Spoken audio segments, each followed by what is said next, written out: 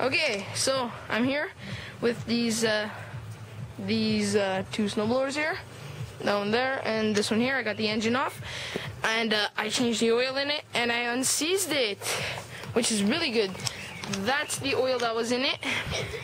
Oh no! Non, non, Victor, regarde, il est avec sa caméra, il est en train de filmer. And uh, Il est en train de filmer, Laurie.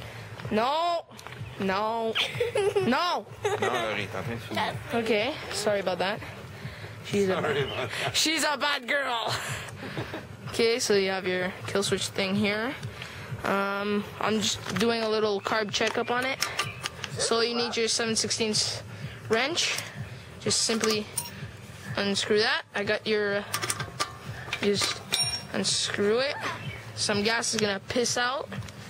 Colle smells like shit. Of course it does. Although this thing has been outside for most of the winter because it's seized up while the guy was using it. And uh, he said frigate and said frigate. Well, honestly, that's really clean. Put on the white there. That is really nice and clean, actually. It's nice. Okay, now let's pull off the bulb. Ball. There. Wow. Now that. Oh, look, there's a little couple of water droplets there. Let's drop those out. That is just really clean. I can't believe that. That that's amazing. Uh, I think I'm just gonna take it, pop the bowl back on, and frig it. C'est quoi ça, on a besoin Um, Hein just lift that there. Drop it on that. Now I'm not even gonna touch that because it's so Ça freaking clean. Est-ce qu'on a besoin and he's screaming to his friend because he's freaking out. All these people from uh, where I am are freaking out of how good I am. So I'll just tighten this back up.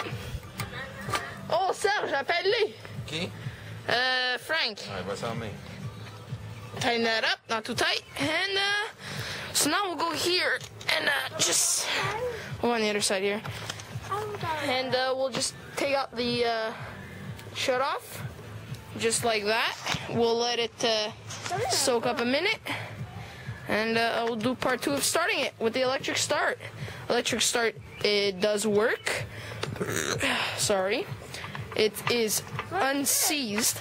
We've got plenty of oil. And uh, I'm not selling this engine because I'm going to keep it for my go kart.